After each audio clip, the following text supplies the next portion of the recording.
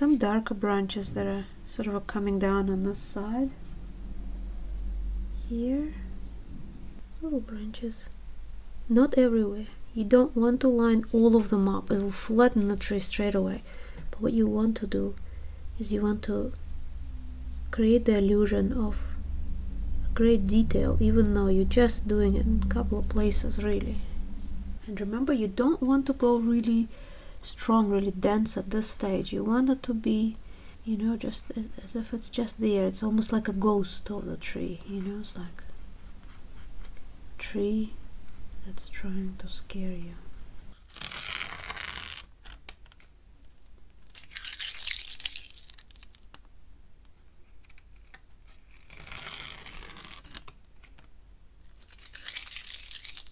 I will let you in on a little secret. Trees love being painted. So don't feel bad if your first attempt isn't as good as you wished it to be. A tree will always forgive you and will not hold a grudge on you like your friends or family would if you didn't get something right in their portrait. What's up? I'm Leila and this video was requested by one of my patrons. If you are a beginner, trees can be a little bit challenging to paint sometimes. How do you start and what do you do next? Well, stay tuned because in this video I will show you how to paint three different types of trees. I will show you how to sketch step by step an oak tree, a birch tree, and a fir tree. All these trees are very common, especially in the northern hemisphere. So if you've ever tried sketching a landscape, you would have had to battle painting at least one of these trees, I'm sure. For this tutorial, you would need some watercolor paper, some watercolor or gouache paint, something water mixable, some watercolor brushes, which are just soft round brushes, and other bits and pieces like water and some tissues. Okay, let's start with the birch tree. What you want to do first, you want to make sure that you mark the placement of that object and also perhaps the height of it as well. So you can say I want my birch tree to be a little bit off to the side. So somewhere there. So I'm going to say it starts over here and it finishes over here. I want to also mark the tree itself. And I want to mark the actual greenery of the tree as well. Now with birch trees you've got sort of a branches and leaves that are kind of like hanging downwards so you get that kind of a like weeping effect. Okay so now that you've marked this up you, you can see where this tree is going. You can add a little bit more of the detail like for example you might decide that okay this you know this is how it is or maybe you're drawing in nature and you're observing the tree. So usually they're quite straight but sometimes you get a little bit of a kink in the tree which looks usually really interesting and sort of gives a little something to the tree. So mark through a couple of larger branches. Usually gets a bit wider at the bottom. These are just the common sort of things. Now I'm also going to mark you know some of the other uh, things in my composition as well. I'm not going to focus too much on the background uh, for this video I will sketch that through uh, but I will not be talking too much about it. So I'm going to soften the lines that I need and erase the lines that I don't need completely. So I'm just gonna go over like this lightly you can work even um, less prominently with your pencils if you're following along at home because I need to make sure that they're strong enough for you guys to see but all you need is just a really really faint outline of you know and, and the placement of the tree. Okay so first I'm going to work on the background but as I said I won't get too much into it. Because the birch tree has white bark you want to make sure that the background helps you to bring that out okay so I've created the backdrop. So next thing I'm going to do is I'm going to start working on the foliage of the tree. Birch trees themselves are not very cold they sort of more go more towards the warmer shades of green. So I'm going to add a little bit of ochre in with the green and create a very very light um, colored wash. Just a really light fresh sort of a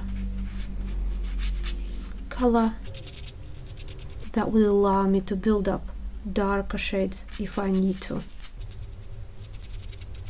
And of course we can always use a little bit of white gouache to bring some extra you know get some extra little highlights.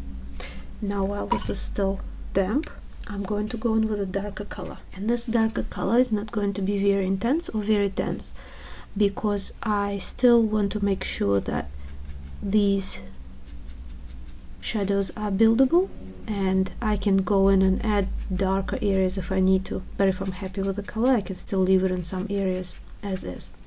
So you don't want to sort of uh, make things a little bit more difficult if you apply very dark colors straight away. Even if you're thinking of using gouache remember gouache is still water mixable material. So by mixing gouache and you'll be still lifting up all these dark colors and it will be very hard to achieve a very nice bright zingy shade so make sure you build up your colors slowly by just gradually um, creating these darker layers. And you see at this stage I'm not going for all the detailed little leaves and things like this. I'm just going for these larger areas uh, more like you know the whole branch with leaves that's casting a bit of a shadow. If you love watching and relaxing to art videos check out my patreon page where you can find extra videos and in-depth tutorials and only for $8 a month learn so much more in a calm and relaxing way. Next I'm going to add a little bit of warmth into the leaves. As I said, birch trees are not very cool in color. In terms of their greenery, it's a little bit more on the warmer side. So adding a little bit of orange or browns or ochre like yellows in there can really help you create that birch foliage look.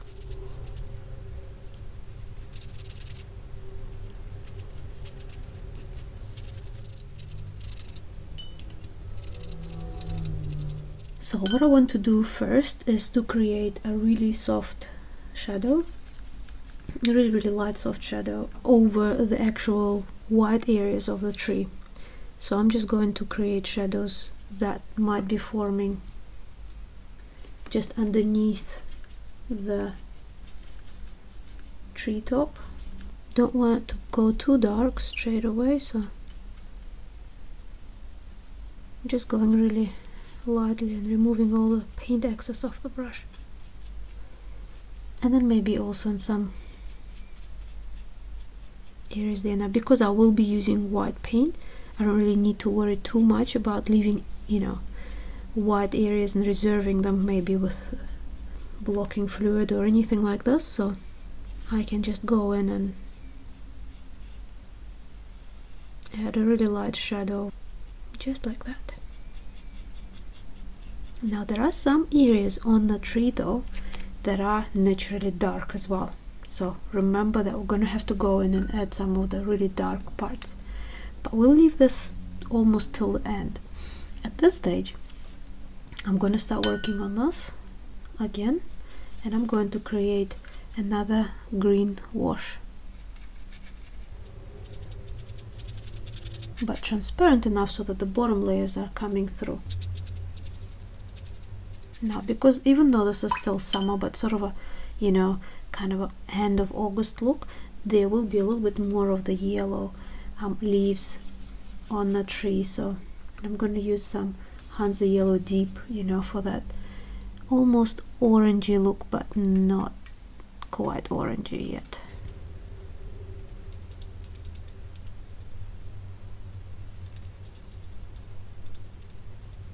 And you see how I'm just I'm just creating these little depths of color. I'm still not working on on single leaves. We will do this right at the end. One very common mistake that a lot of beginners do is that they start with tiny little details and it can really take your tree painting into the wrong direction because then you start to focus too much on the details and you lose the overall shape that's the danger of going in for the details too early okay now I'm going to create further shadows on the light part of the tree, you know, the bark. So I'm just going to go over some of the areas that I think should go darker. As we keep working on the tree and darkening that, you can see that these areas should definitely be darker too. And at the same time as we're darkening this, I'm going to use a little bit of the neutral tint with a little bit of um, of, of, green sorry almost said brown hmm. a little bit of green and I'm going to add just tiny bit of those um, you know those really deep sort of shadows when you can kind of almost see into the tree and see quite a bit of shadow in there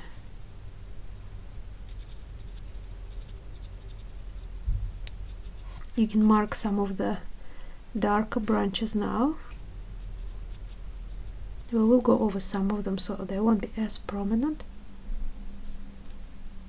And you see how with each next layer we're going more and more into the detail. That's what you want. You don't want to start with the details but you definitely don't want to leave them out especially if this is something that you like to work on. Okay so now a tree looks more and more like the tree that we want it to look. I'm still gonna go in with more shading. So here I'm just mixing a bit of neutral tint with burnt umber and again just getting a bit more into that okay now next I would like to create a really zingy sort of a really bright green leaves you know when the tree gets hit by light you know you get some of these areas that are almost glowing. And I'm just gonna put those in. And then we will make them even stronger once we start using white and with our work. Okay so now those of you who love details this is when the fun really begins. All the prep work and sort of a mid layers are done I'm gonna go in for the white. Now for the tree trunk itself I'm just going to use white straight out of the tube. So this is gouache. You can also use white watercolor. I do prefer to use gouache because it has a little bit more coverage and it's just a tiny little bit more opaque. I'm using this paint quite thickly because I want some of these areas quite light. A little more there and I'm only going over the areas that I want to be really really white. Anything that I want to be a little bit more gray I'm just leaving it you know with that shadow wash that we've created before small branches on birch trees are usually black so if you've got some larger branches that are showing through you can add a little bit of white in like this. And my next step is going for black.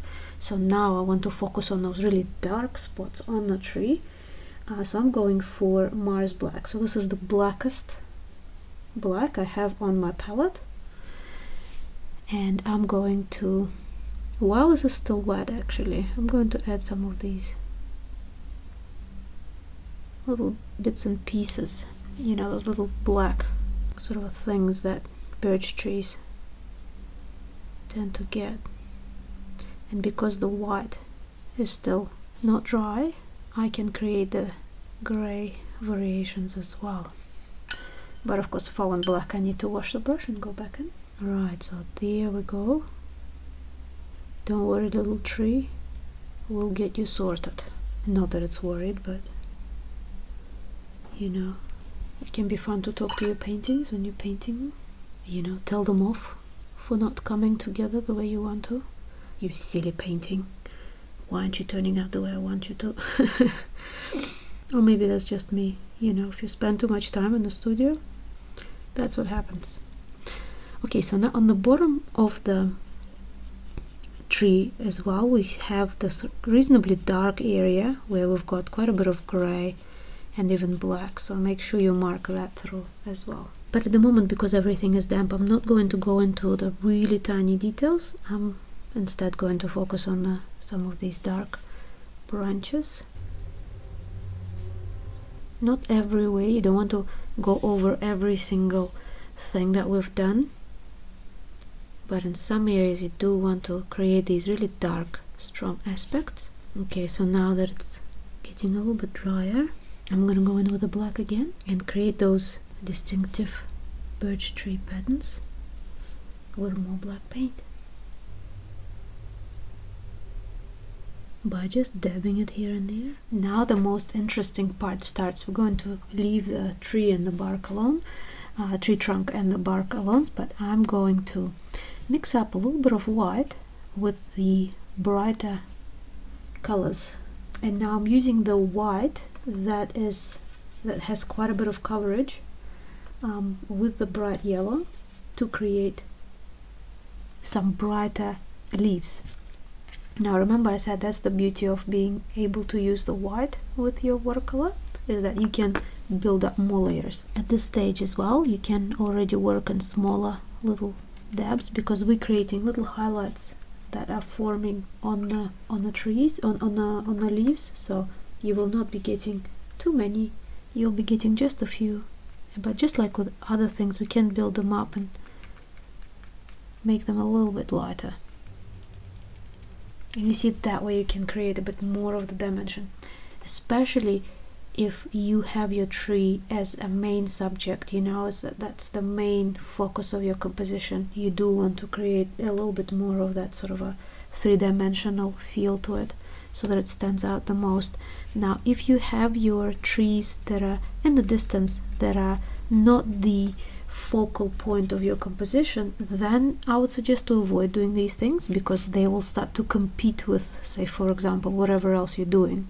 Like for instance maybe you've got a person walking the dog or something like that. So you want that person and the dog to be the main subject then probably avoid doing these steps okay. So just a little bit more here and there. Um, and of course as always you know as I sort of remind you guys those of you that watch my videos regularly you probably know um, if you're working on the large artwork you can always use larger brushes for things like that and the smaller the more miniature artwork is the smaller the brushes you should use and you would find helpful and easier to control. So now I've got a bit of this. Now I also want to add a little bit of orange in there. So but I don't want to add the dark orange anymore like we did in the beginning. Remember it was almost browny orange. So I'm going to mix a little bit of orange with that sort of a yellow that we've mixed up here previously that I was using here. And just couple of just couple of spots. Remember this is not an autumn tree. This is just sort of end of the summer sort of a look for those of you who live in the northern hemisphere that is at the moment I live in the southern hemisphere so trees like birch trees and things like that sort of do a bit weirdly here. Um, they do lose their leaves, but they kind of, I don't know, seem to be a little bit strange. Now I'm going to do the same thing with the darker colors and just in a couple of areas add some more details for that as well. So just in a couple of areas you might want to have a few darker spots and mainly these spots are all just to show the direction of these sort of branches, you know, whipping down.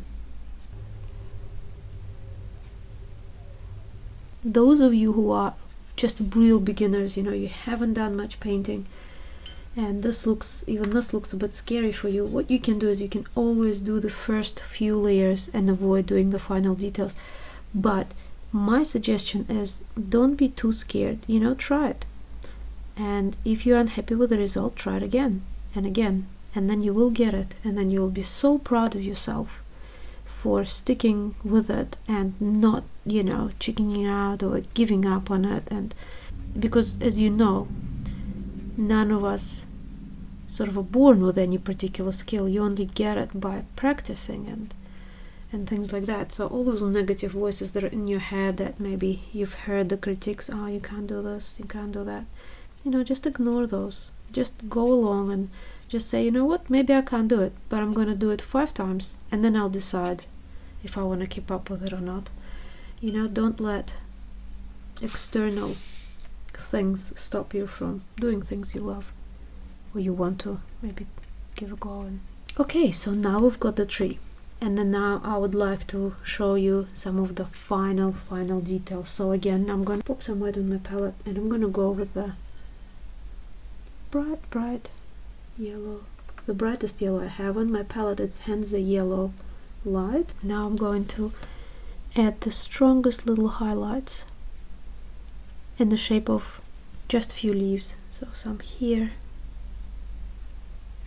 some there, and now you can already work outside the tree itself as well. So bring some out. It's quite a no-no to start with if you're working on something like that, but at this stage it will make it much more luscious and much more you know you, by doing all of these sort of a speckle things at this stage you're creating that feel of you know the wind sort of playing with leaves and turning them one way or the other so that they are catching light and then in the shadow catching light and in the shadow.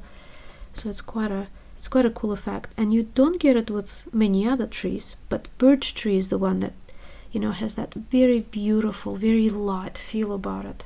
And each tree has its own beauty as well you know just remember that too. And now i'm going for the black or you can go for like a dark gray like neutral tint or Payne's gray or you know whatever you have in your palette and add little branches. Not everywhere. You don't want to line all of them up. It'll flatten the tree straight away.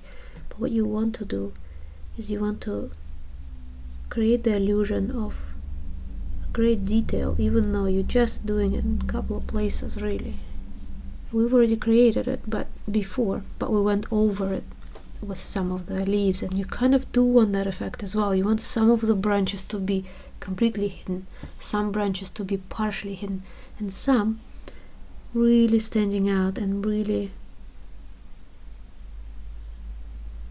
you know showing that beautiful detail. Also the direction of the branches can do a really beautiful job in describing the kind of a tree that you are working on. So, for example, birch tree, you know, it has those really sort of a whipping branches pointing downwards, and then some trees have branches going up. So you, this is what you want to pay attention to. Okay, so I think this is done. So I'm just going to work a little bit on the foreground and background, just a little bit, and then. Okay, and now it's one of my favorite parts. We are going to remove the masking tape.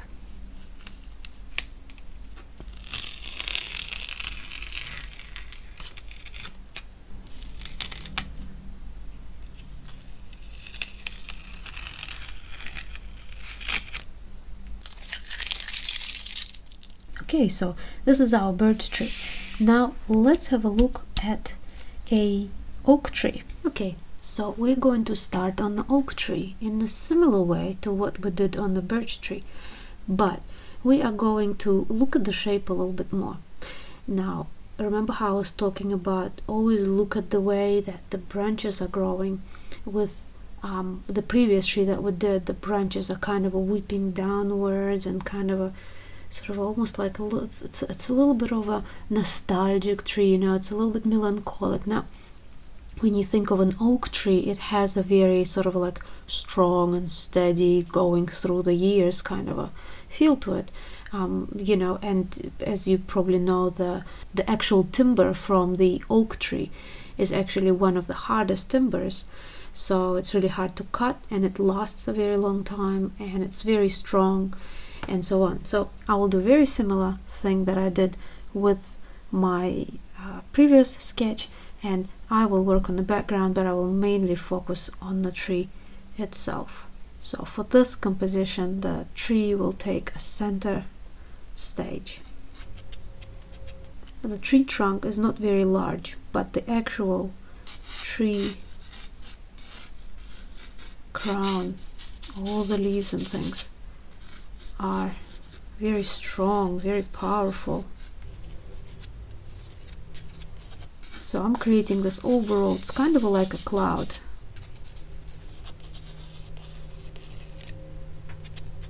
Sort of a shape. At this stage, we can stop with pencil sketching and erase or soften the lines that you might not want in there so prominently. And again, for those of you who are working at home on this, you guys don't need to make those lines as strong as I did before I really did them for your benefit just so that the camera can capture these lines a little bit more um, stronger so that things become a bit more visible. I'm going to work on the background and then I'm going to come back when it's time to work on the tree itself. Okay, so I have done a little bit of a background. Again, as I said, the background is not the big deal here. It's pretty much just to plant my tree and to, you know, at the end of the day to make it look nicer. So my next step would be, remember how with the birch tree, we actually went in with the greenery first because the bark is white. Now the oak tree is a little bit different. Not only is it quite dark, the branches on it are quite strong and quite powerful. You can see that through the direction. So we are going to start with the tree trunk. Okay, so just very lightly, I'm using Van Dyke brown, but you can use something like sepia brown, you know, just a darker brown that you have in your watercolor set. Okay, so now I've covered the actual trunk, the one that's the most visible, but I'm not gonna stop there. I am going to go along with the branches. So remember that direction that I was talking about. So straight out of the tree trunk, I've got this one branch coming out this way and going this way. Because they are so prominent in the oak tree, you really want to pin them down first pin them down guys those branches yeah get them where should they where they should go that will really make the process so much easier for you because then you wouldn't have to guess where you're putting them. And also with this tree because the branches are so far away from each other the sort of foliage the, the, the tree leaves are kind of like sort of situated around these these large branches. So that already tells you where you should focus all of your greenery. But this is the kind of a thing that you want you want to show in your art as well. So always always always look at the shape of the branches the direction that you know the powerful are they really soft? Are they really sort of a whipping or are they strong forceful you know right out there? Okay. And of course a lot of these you wouldn't be able to see much. And we can you know because they're covered up by the leaves and then we can always add little bits and pieces again and you see how I, I haven't even like looked at different color variations or anything like this for the bark. So for now I'm going to do exactly that. Raw sienna it's a little bit reddish. The actual oak tree is not that red but you do get that variation in the bark. You know it's sort of like, like your classical sort of a dark brown but you still get things here and there. So we've got that. Next I'm gonna go in for some burnt umber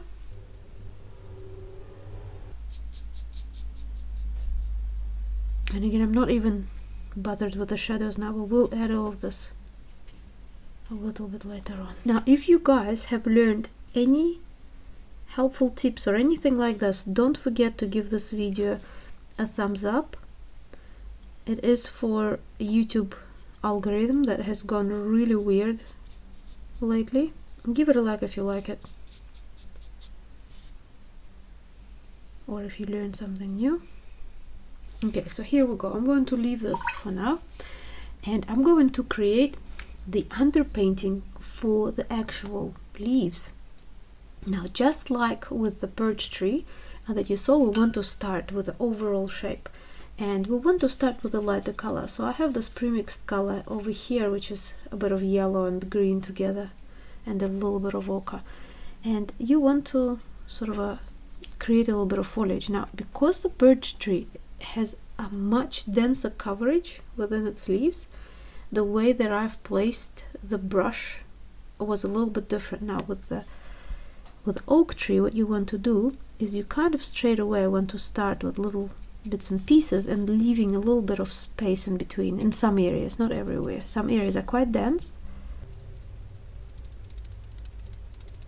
You don't get any space in between but some bits and pieces you still get a little bit of the sky or you know whatever your background is because you might be just doing this on white paper for the sake of it or maybe you're already painting a landscape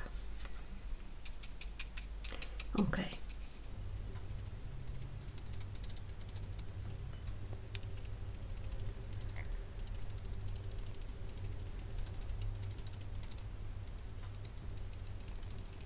Now you might go over some of these areas as you keep painting and that's absolutely fine but you don't want to go over the areas that you might need to leave at the end. You know as is? Just a bit of sky showing or something like that. Now the areas that you can see don't really have much of the sky showing the light showing you can just go over and just smudge them like this I mean you don't have to. It will happen eventually but for me I do like to mark things up so I know where my main shadows are going to be. And this is what I'm going to do next. So next I'm going to go for the reasonably dark color.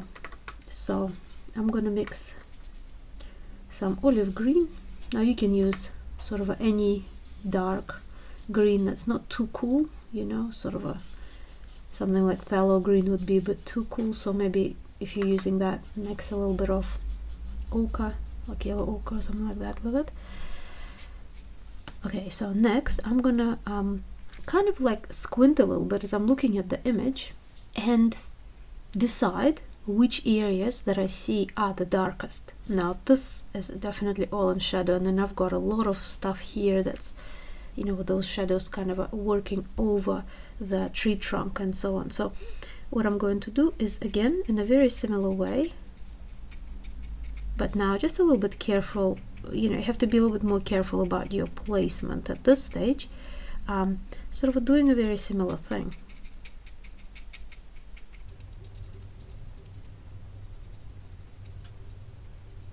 So some areas where I see the shadows that are quite block like I block them in as well. And some that I see are you know have quite a bit of that sort of a sky light coming through. I just just dab my brush you know there isn't much to it. You just you just go tap tap tap. And it sort of does the work for you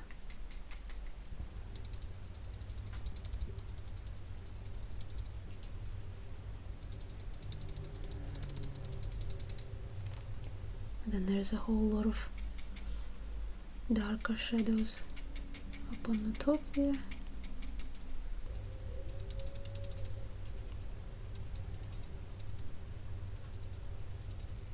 This stage I'm still using green. I'm not using any of the shadow colors you know with the really dark one so this is really dark but it's still green. So it's still a tree. Not so much just a pure shadow. We will do those things a little bit later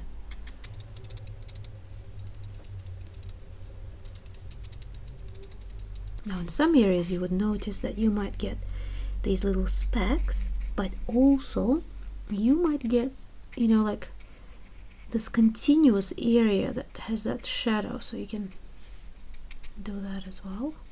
Okay, now at this stage the tree looks kind of a little bit childish, doesn't it? But that's because we've got the really light shades and then the really dark ones kind of stamped on. So what we need to do next is we need to just wait for this to dry a little bit and then merge these two together. Now while this is drying, I'm going to go and work on the, um, the tree trunk again. And so this time I'm going to go for the darker brown and even add a little bit of Prussian green for the shadow. So now we're starting to look a little bit more at the shape and at the light and the shadows that are being cast as well.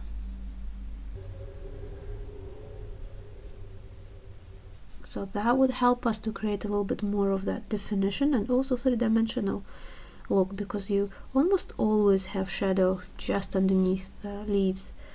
If you don't create that shadow, doesn't matter how beautifully you paint the rest of the tree, it's just going to look flat and very childish.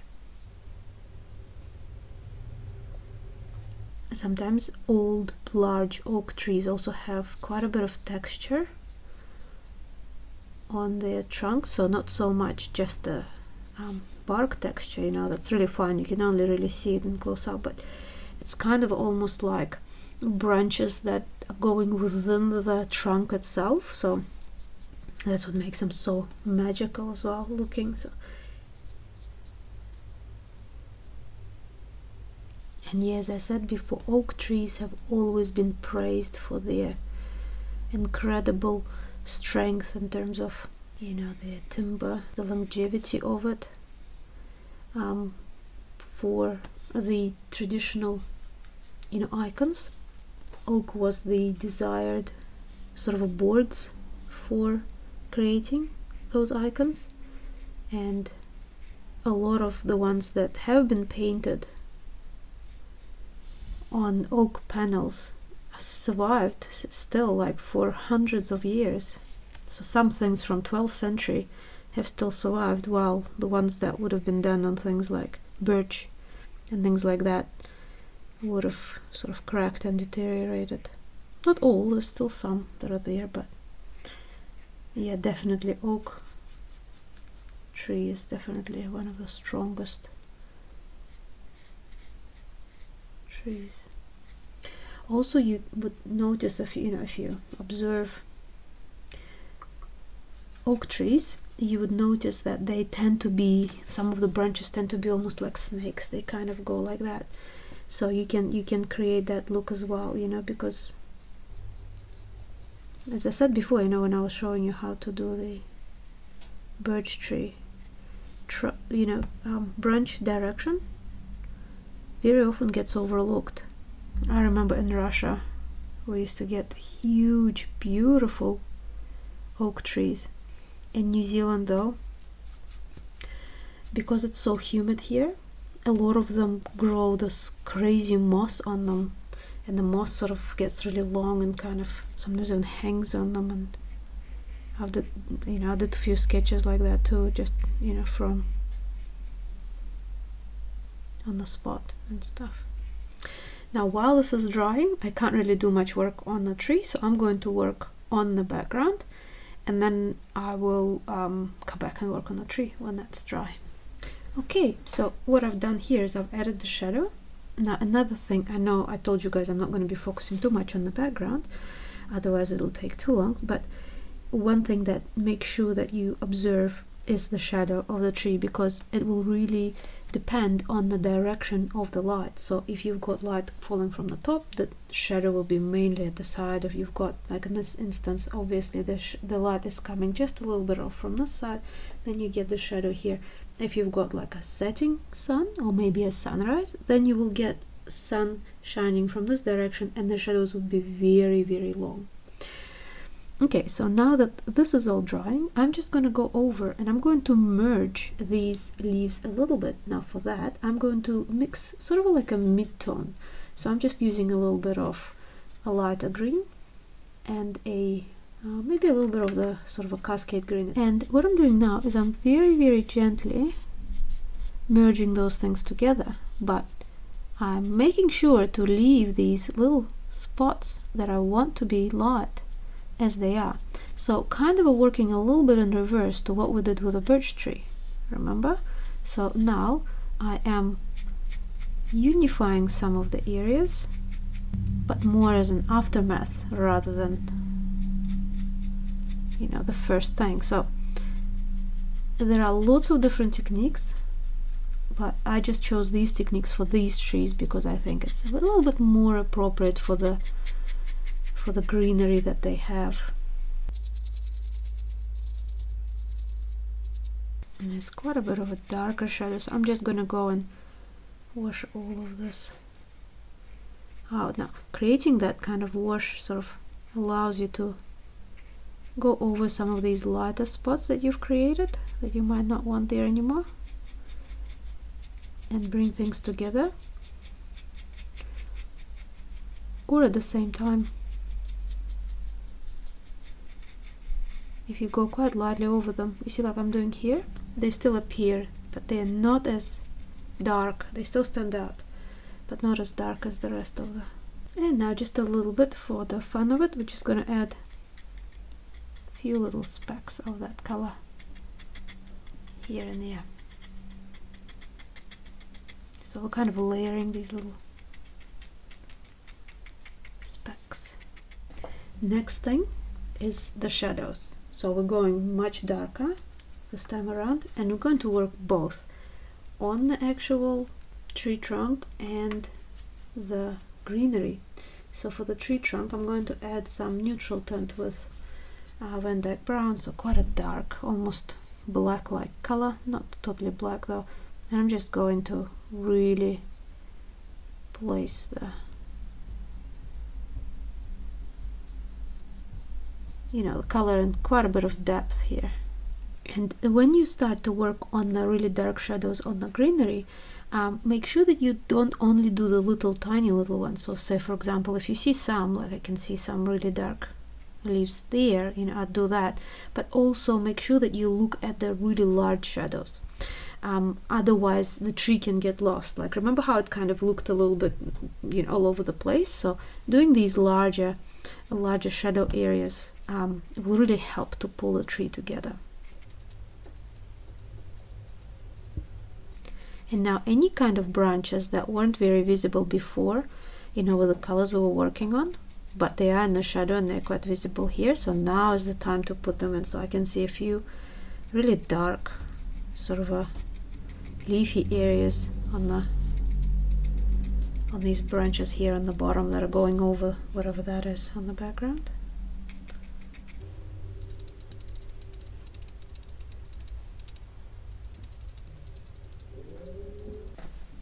and so again if there are some larger areas you go in and fill them out and I can see some mm -hmm.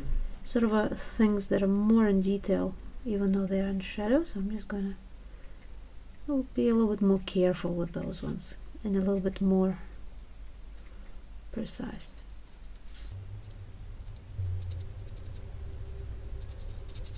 So these large shadows will really help you to show that volume you know of the tree and little shadows will help you to show uh, portray the details you know the little leaves and things like that.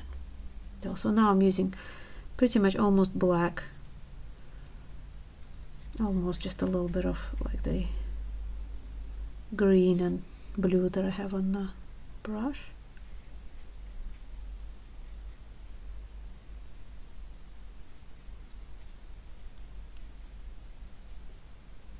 and now rather than going along with all the branches. You only focus on the small areas areas that are in shadow and that are visible. So just like that just a little reminders because if you outline the whole thing again it will look quite cartoony and extremely flat.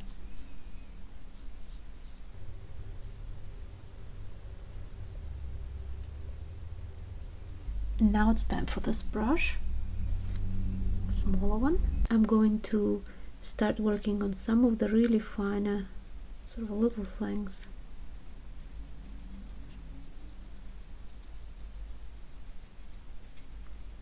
Again, remember if you are a total beginner and you sort of feel a little bit uncomfortable doing things like that, you don't have to. Not in the first go. You can always have a couple of goes up until this point and then add these these things in. But really I don't think you should be scared of this. Just give it a go and you'll see that it's quite a bit of fun.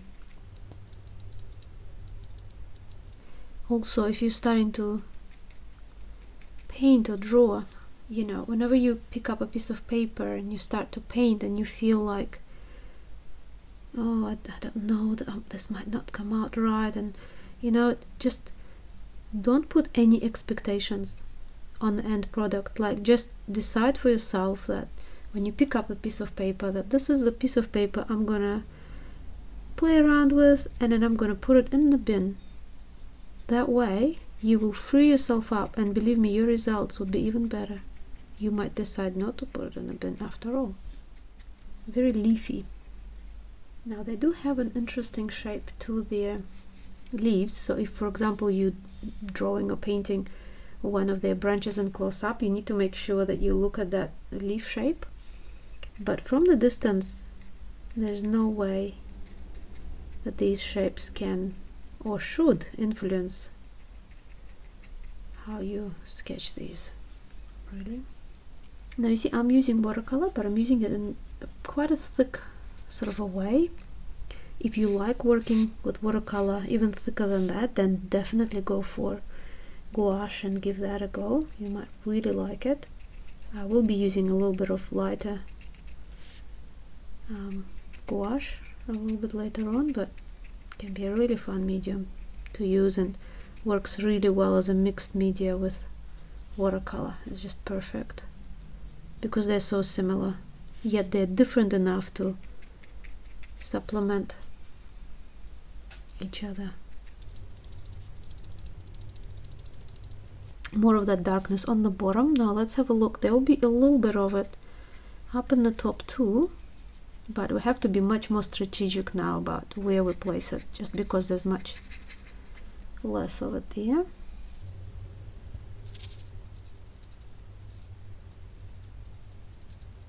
Okay so I'm gonna go back for the gouache. Or remember you can use your white watercolor. Gouache gives a better coverage though so keep in mind if you're using watercolor you might not be able to get the light colors as dense. And now I'm gonna mix it up with a little bit of yellow and a little bit of green. I'm using lighter colors a bit more yellow because there's quite a bit of yellow on that you know probably because of the sun catching it. And now I'm gonna add little highlights so very similar to what we did here with a darker color just building up the lighter layers of those little specks. And in the same way as the dark some areas you might want to merge together and some you might want to leave as separate leaves. Now if you don't like using gouache I know some people who resort to more classical way of working with watercolor. Sort of a look down on using white. That's how I was taught. We weren't meant to use white you can always um, use masking medium sometimes called blocking medium as well before you start and reserve some of these things. But if you ask me I quite like that sort of a, a look of white on it because it helps to build up that sort of a heavier look. Um, but that's just me personally so. See what you might prefer and give it a try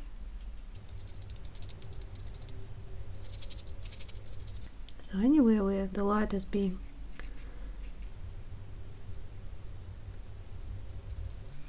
Okay and next step go even lighter with the white. So again I'm just gonna pop a little bit of white on my palette and now I'm gonna mix just yellow with it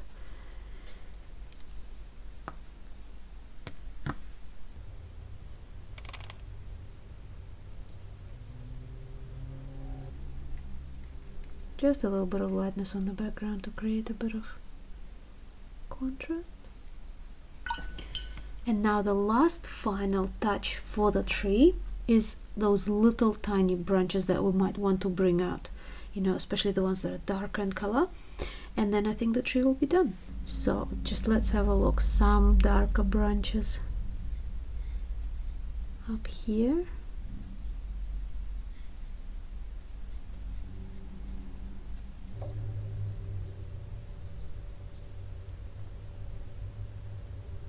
sometimes you can see branches without the leaves so you can put those in. They always create this very very detailed look even though you didn't really do any details you just put a little branch out at the end and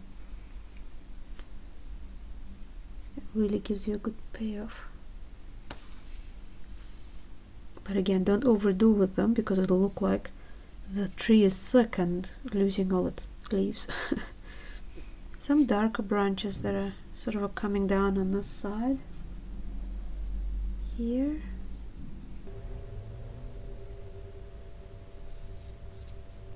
Because there's quite a few of them. There's an empty branch on the bottom. And that's about it.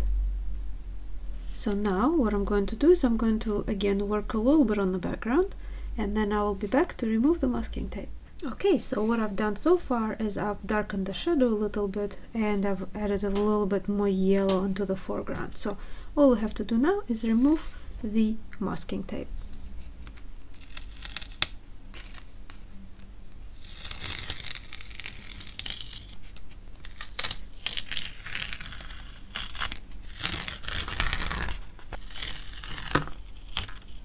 Okay, so now we have our oak tree.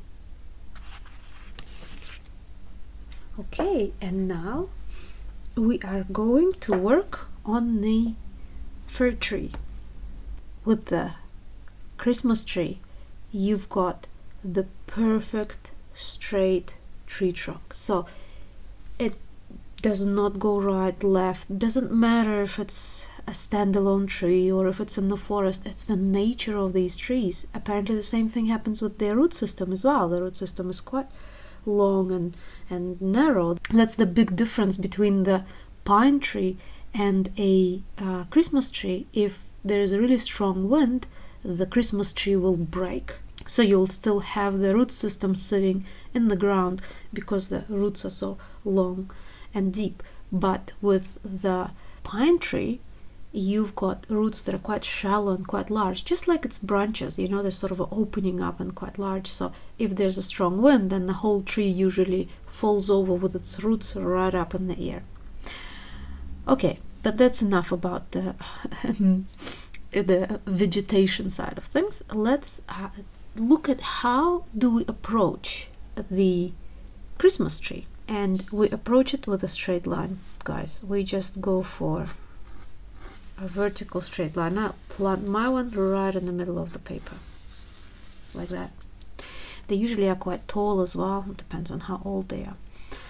Um, and I also will create a little bit of the background, but I won't uh, be explaining and filming and all this, otherwise I won't have enough time to cover all of the trees for this tutorial. And let's go for the for the branches. So for this tree, you don't really want to put every single little needle in place right? But the main thing that you do see when you look at it is the direction of those branches. So the branches are quite thin at the top and then they sort of go upwards and they kind of almost have a flick right at the tip. So you want to put those flicks right in like that. So it's kind of like a skeleton like think of it like a rib cage or something so that's how you want to approach it. You don't want to do any pine cones when you're starting this up. And they kind of all like you get these branches going in different directions but they all kind of are sitting around the same sort of a level. So kind of like a lego you know when you put those things together. Some branches sort of go down obviously the larger the branches and the younger the branches the more upright they are. The ones on the top are almost pointing upwards like that. And the ones that are on the bottom are going down and almost hanging kind of. Now with these larger branches you also get little branches coming off the larger ones. See like I've done one there? So you'd be getting these little things. Um, don't worry about putting all of them but only the ones that are quite prominent, the ones that you really want to make sure you don't forget about. Christmas trees are quite a favorite subject matter for a lot of artists, you know, a lot of Russian artists um, have created really beautiful, very interesting artworks with them. Of course, using all sorts of things, watercolor and oils and in tempera. Um, so it's quite a beautiful tree to paint as well. You know, it's quite magical if you want it to be, and it can be really dark and scary at the same time too. Okay, so now I'm going to work on the background and then I'm going to come back and show you how to paint a tree. Done the background and now that it's almost dry, I'm going to start working on the tree. So the first thing you want to do when you're approaching a tree like that is to create a reasonably cool color. Now if you actually look at the color of the greenery of this tree, it's green but it's more on the cooler side so a lot of the times when you see shadows on this tree you will find that they have quite a bit of blue in them so for this I'm going to use a mix of uh, Prussian green which is almost like blue with a little bit of uh, olive green. So I'm going to actually start with the tree trunk again. So I'm going to put this really light, sort of a faint line.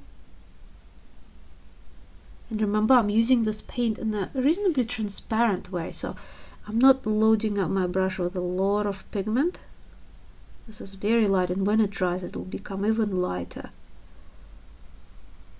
fine and now I'm go it's almost like if you think about it you're almost like creating a shadow for this tree uh, don't worry about too much detail in terms of the light uh, sh and shade change but you want to focus a little bit more on the main shapes of it. So like here on the top it's got the little sort of a branch and little things sticking out that I can see.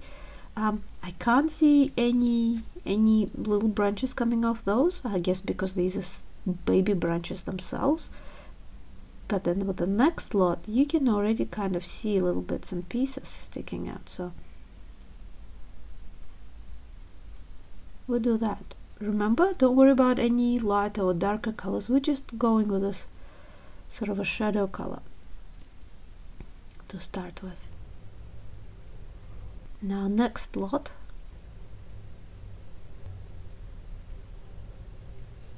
And then with the next lot that's where you get that typical sort of Christmas tree look.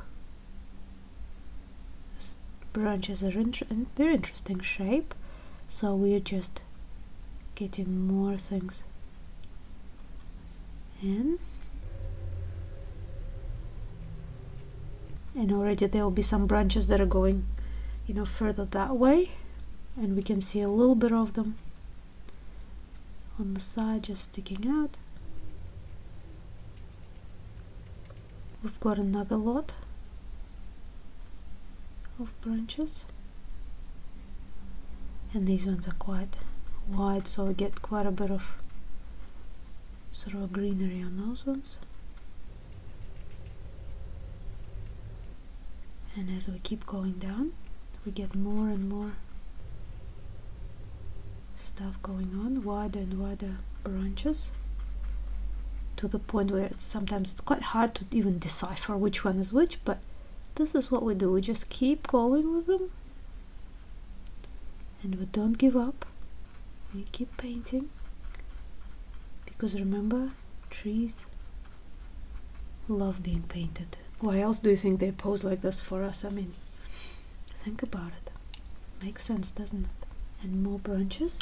And we just keep going. And remember, you don't want to go really strong, really dense at this stage. You want it to be, you know, just as, as if it's just there. It's almost like a ghost of the tree, you know? It's like tree that's trying to scare you. remember when we marked them some of them are getting heavy and so they go down like this there's another one that's going down and now at this stage because so many of them sort of going down. It's really even hard to keep the you know to keep positioning them right. So what happens now is we just we just go if you see a branch you put it in. If you don't you don't. Remember if you're using images you don't have to do exactly the same thing. Unless you're doing photorealism you can just use images for inspiration. So you can just say I really like this and I'm going to create an image that's based on this. Okay so now we've got the the skeleton or the ghost for this tree. This is just a little bit of a background there so what I'm going to do next I'm going to go over with some shadows and some lights afterwards. So uh, what you want to do is perhaps if you're working on a smaller scaled artwork. You can already go for a smaller brush. Um, I think I'm still okay using this one for now. We're going to mix a really dark cool green. So this time I'm going to use some neutral tint. You can use black if you'd like or Payne's Gray, you know, whatever dark color that you've got. Prussian green, olive green. So now I've mixed up my darker shadow color and I'm gonna go over some of the areas that are actually quite dark. Okay, so I'm going to use just the tip of my brush. That's why it's good to have a brush that has a really good tip because then you can end up using one brush, one size to create your whole artwork because you can use it as a tiny little one but also like a larger as a larger one or you can always resort to having a few brushes and doing that okay also at this stage I'm going to be adding more details as well. So you know how we've done the overall sort of a skeleton ghost thing? But now if there are any little bits and pieces that I sort of, sort of didn't add now is the time to add those in as well. Maybe a little tips or tiny little branches that are coming off.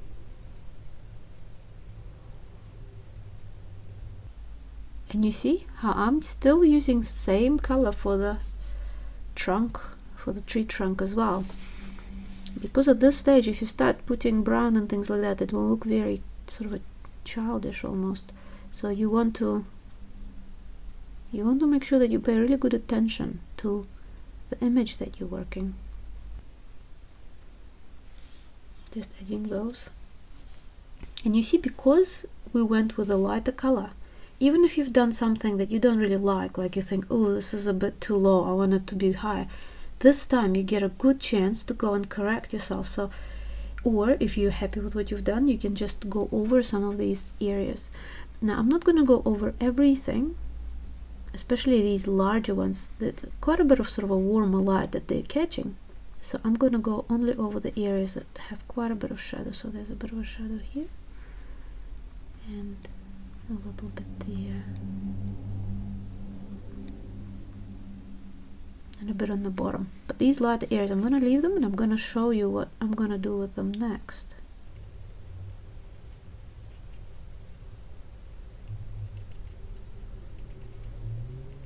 You can simplify them. If this is a little bit hard and you're not sure you can always simplify them and have maybe a smaller tree a shorter tree because I mean that can be you know a tree as well. But I just want to make sure that you guys see the whole process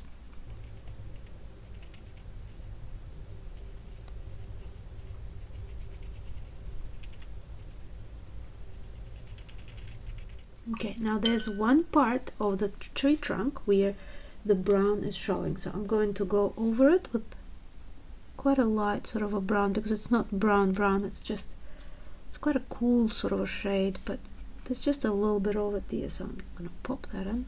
Okay so next I'm going to mix up a little bit of the warmer and brighter green where I'm using a bit of a grass green olive over the some of the areas. I'll add a bit of ochre in there I think as well. It's sort of missing a bit of that. Sort of a yellow that's not too zingy. Okay so now over these areas you know the ones that are just left as they are those areas of the of the ghost of the tree I'm gonna go over them with that sort of a warmer green. So just like that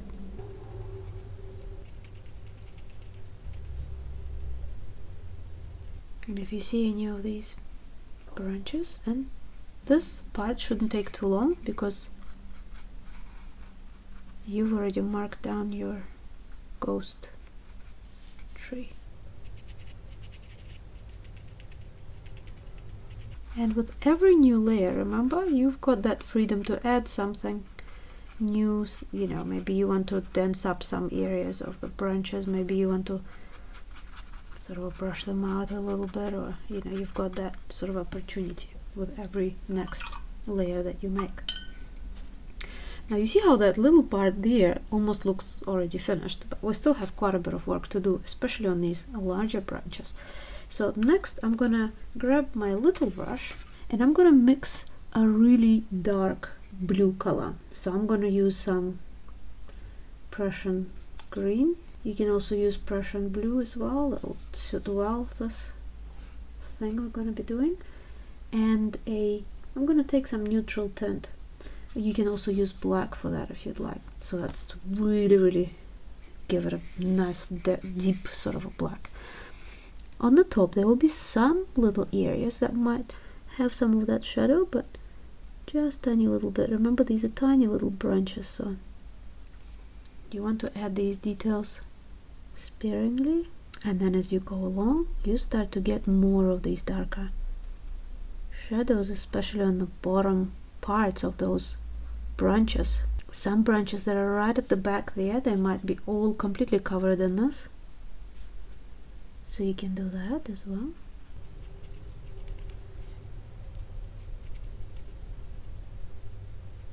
See this little bit here? This is the shadow from another branch that's coming right at us so that shadow looks a little bit triangular. There's another branch right at the back there that's catching quite a bit of shadow. A few branches i'm not sure what they are. Maybe they're not you know just drying up or something. But we can put them in there for the really interesting sort of a dreamy look.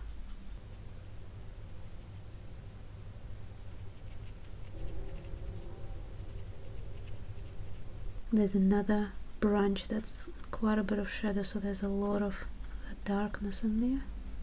Quite a bit of contrast too.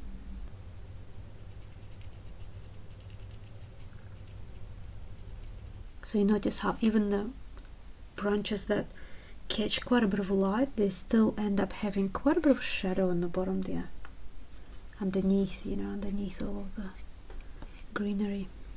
And that's why you can see all the crispy details against the sky there. Again if perhaps you are working without the background which I would suggest for the beginners if you're just learning to do it just try as it is.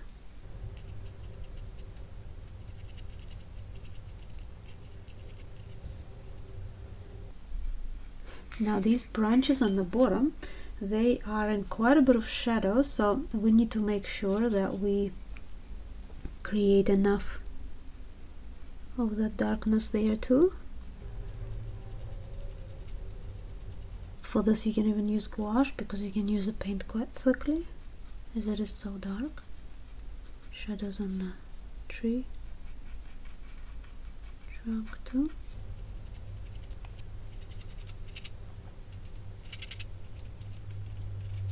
Okay so my next step is to start using gouache so I'm going to use gouache for some of the areas because remember this tree is quite dark anyway. So we don't really need to do a lot of really bright highlights but what I would like to do is to mix up a little bit of a lighter color to um, just create some highlights because it's such a nice crisp bright day. And I'm gonna mix up a bit of blue as well you know that similar blue that I used for the sky. And just because usually you get a lot of reflections from things. So you might think that you know sky is blue and that's blue but the tree is green so it's green. But you get a lot of that sort of overlapping. See little spots here and there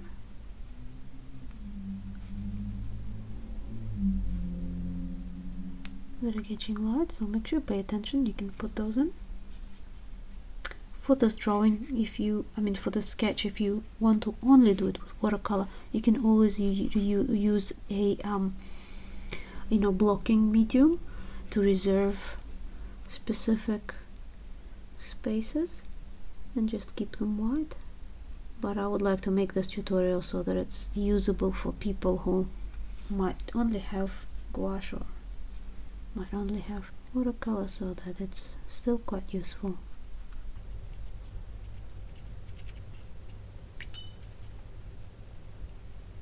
And now some of the areas where we've got light greenery going over the tree trunk, this is where we really need to focus because it's quite important to get this right.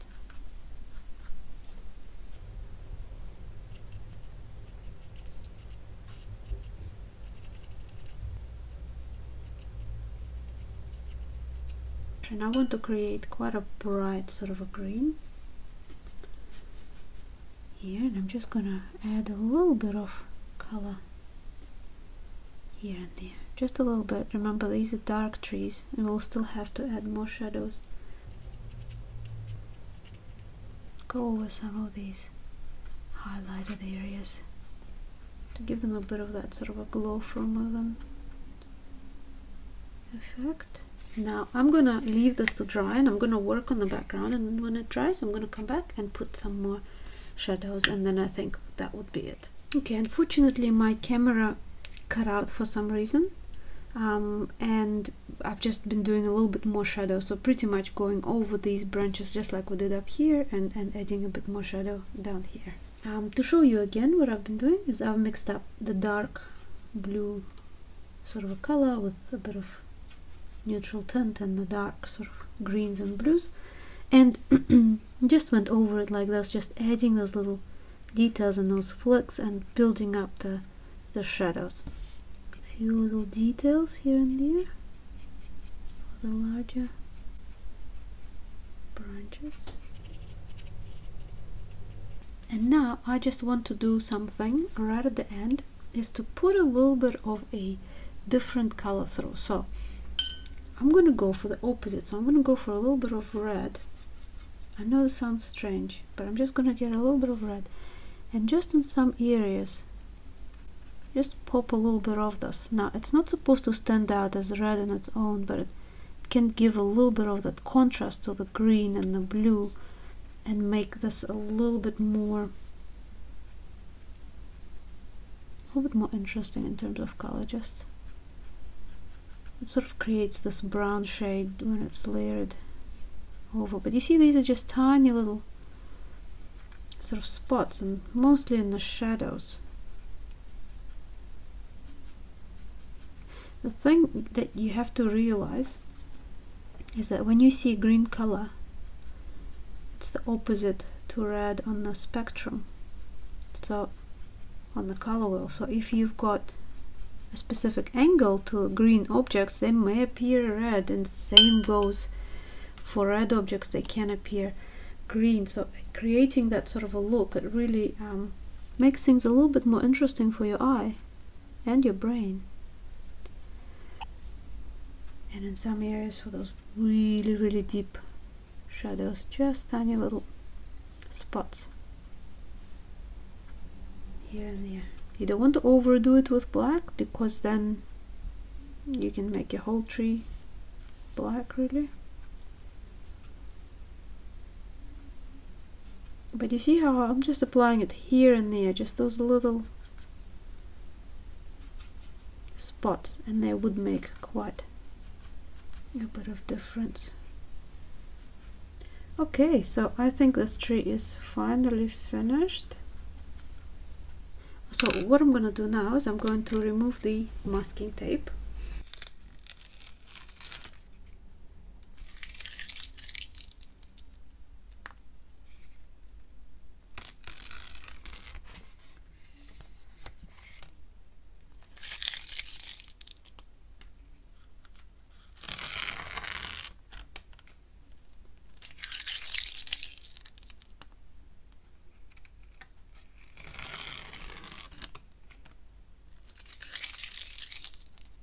for watching this video till the end.